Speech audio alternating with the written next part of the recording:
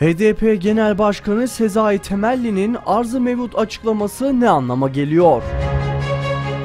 Seçim sonuçlarının Anadolu'yla büyük şehirlerde farklılaşması nasıl yorumlanmalı?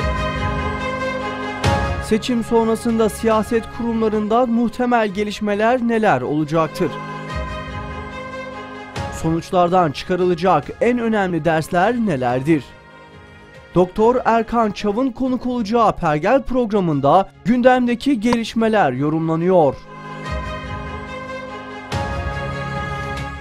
Pergel bu akşam saat 21.30'da Rehber TV'de.